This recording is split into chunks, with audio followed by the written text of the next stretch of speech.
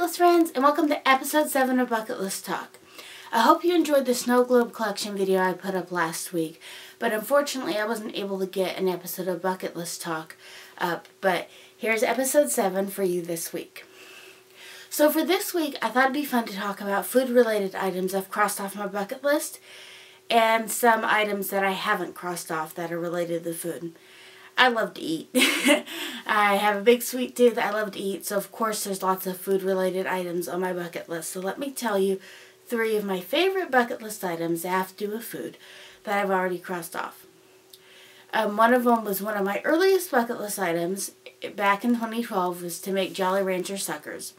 It's very simple. You just melt them in the oven and put a lollipop stick on the melted Jolly Ranchers.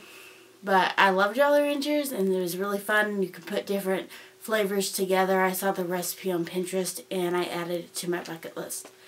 Um, another one of the things I'm going to talk about, it's actually this week's bucket list item that I crossed off was to make cake pops. I've mentioned that. I think I mentioned that in my first episode of Bucket List Talk. And so I have my cake pop maker. It's Mickey Mouse. I'm a huge Disney fan. Did an episode about that as well. And they're Mickey Mouse shaped. This was really fun to make. And for cake pops, you can use the box cake mix as well. And it's really quick. You just spray it and put this in and it does it in like, I don't know, like a minute or two. It makes them really quickly. And they're really fun to decorate.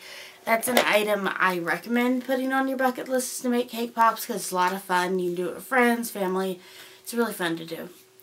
And my third item that has to do with food that I've crossed off that's my favorite was to become a vegetarian.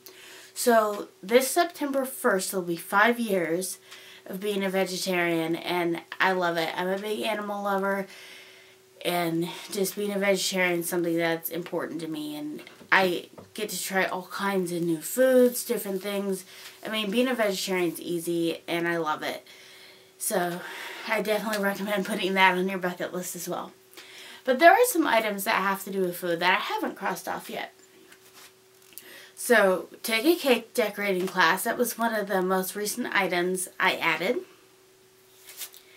Um, make a perfect cupcake.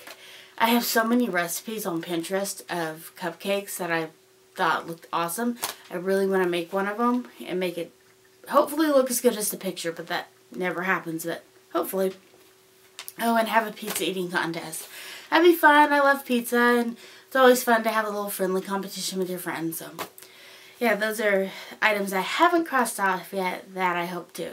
So, leave in the comments below some food-related items that are on your bucket list. I hope you guys have a great week and rock on my bucket list, friends. See you in the next episode.